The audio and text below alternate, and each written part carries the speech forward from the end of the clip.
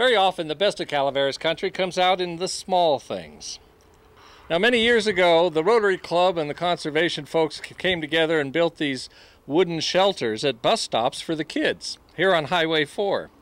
But we're located up in the forest, and these little shelters get very dirty after a while. Very dirty and, uh, you know, suffer some abuse and neglect and, um, you know, even effects from the weather. So after a while, these shelters can get so dirty that none of the kids want to use them. But a local Girl Scout wanted to do something about that, and I'd like you to meet her. I'd like you to introduce yourselves.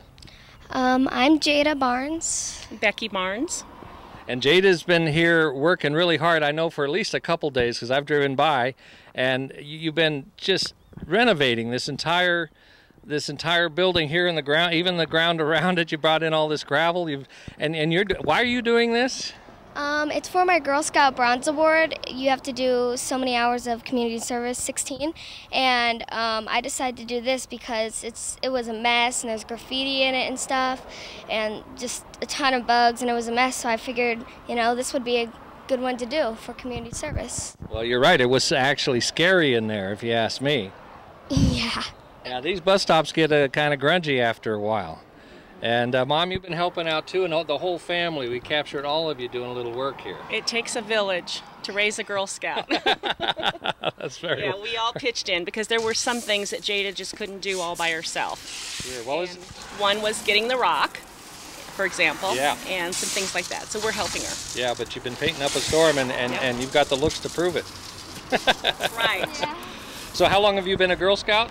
Um, Since kindergarten. yeah, since Quite kindergarten while, for like this year it'll make it seven years, I think. Yeah. And how old are you? I'm going into the sixth grade. I just turned 11 Oh, a few days ago. Cool.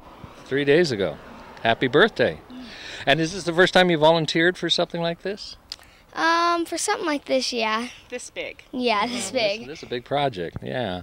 Well, I, I really believe in volunteerism. I think everybody ought to volunteer for something.